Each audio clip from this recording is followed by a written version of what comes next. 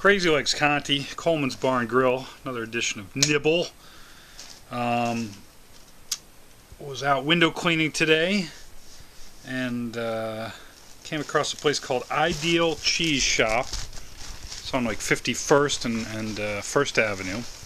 So I picked up two things and uh, that'll be the nibble. A little tired, but I'll, I'll make it through. A little hungry. Uh, we've got some cheese. This is the Morbier, uh, also known as day-night cheese, and we've got some interesting sausage or saucichon. It's from Spain, um, and it is uh, Ibertico. I think I'm saying that wrong. Ibertico sausage, which are pigs, I believe, that are raised only on maybe figs and acorns. So they have sort of a nutty, woody taste. They're supposed to be like the best pork in the world. Can't get it here in the U.S., but apparently, I guess you can make it into sausage and get through. The battery may die soon. Uh, Morbier cheese, one of my favorite cheeses because it's uh, day-night cheese separated by ash. I don't know if the cows go left to right. Um, I couldn't tell you which is the day and which is the night, but I'm going to say this is the day and this is the night all of this fine cheese and sausage should really be accompanied by uh, some fine wine or even mediocre wine. But I uh, do not have any at the moment so I'm going with the pairing of uh, orange Gatorade. Uh, orange wine very popular as in orange Gatorade maybe not so much. Alright uh, let me just cut off a little of the sausage try to get to this show before the um, battery dies on the camera, the Olympus TG10. Alright, cutting it up. It's got a nice, very reddish color to it, a little pink, but mostly reddish.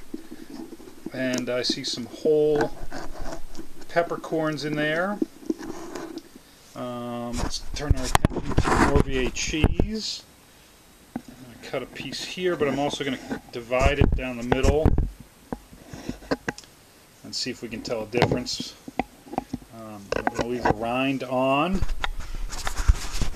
Alright, we're still rolling. I think I'll go the, I should try the cheese first. I assume this is the day side. Maybe I'll cut the, I'm going to cut the rind off.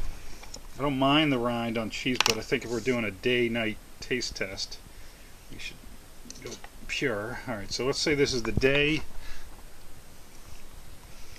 Mmm.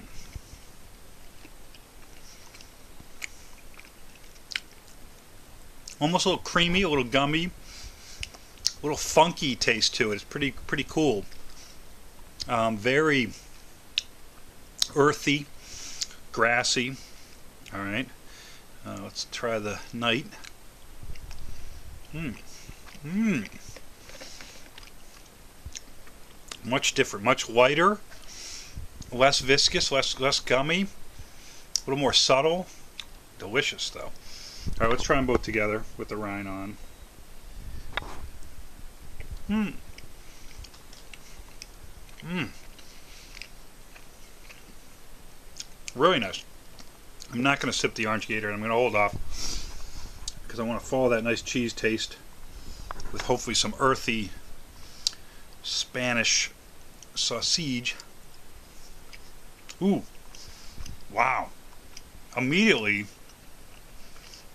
the texture completely different.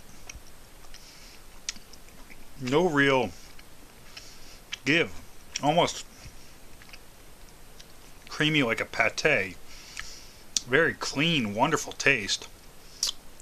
Oh, it's almost as if, you know, when gin is so much different than any other spirit because it's got botanicals. You taste the coriander, the juniper.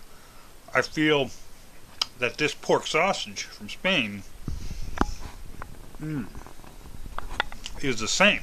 So distinctive. Almost hard to describe, but I get like a light, like spring vibe. Not that there's any,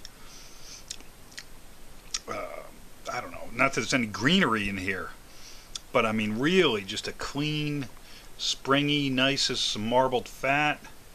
Um, the way you get a great aged porterhouse, you get that taste off it, which is meaty but also very buttery and mm,